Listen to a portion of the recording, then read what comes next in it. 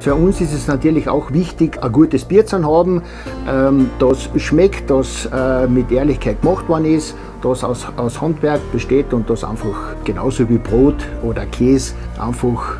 mit Leidenschaft gemacht wird.